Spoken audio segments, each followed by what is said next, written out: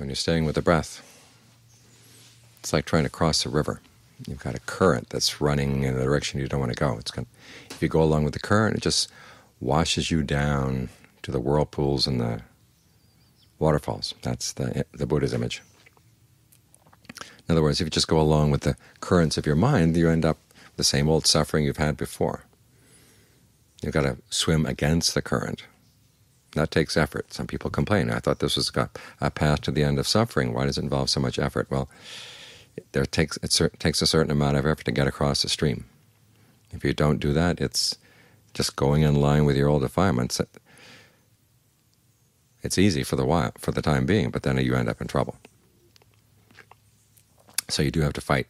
You do have to make an effort to go across the stream. You've got the raft that's going to help you across. Finally, you get to a point where your your feet touch bottom. You know you're safe. From that point on, it's just a matter of walking up out of the river and up, up on the other bank.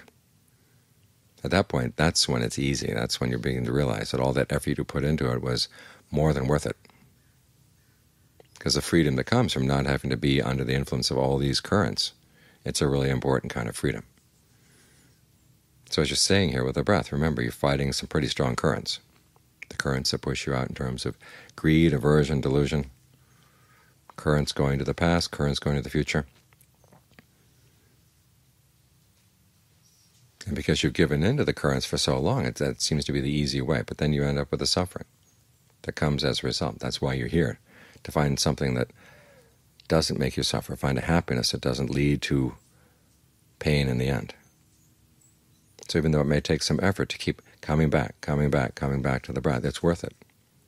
Each time you come back, you learn a little bit about the mind. You're strengthening your mindfulness, you're strengthening your alertness. So it's important you not get discouraged as you find the mind being swept away, swept away by some of its old currents. You learn how to recognize them. And so the next time they come, you know this is not where I want to go. And ultimately your ability to hang on to the raft gets stronger and stronger. And it's the raft that gets you across. So hold on tight to that. Everyone talks about the end of the raft story, that once you're on the other shore that you let the raft go. But while you're swimming across, you need the raft to keep you buoyant, to keep you on top of the water, so you don't sink. And hold on to that as, as best you can. So hold on to the breath. Hold on to your determination to stay with the breath and to understand things. Not get carried away by the currents that would push you in another direction.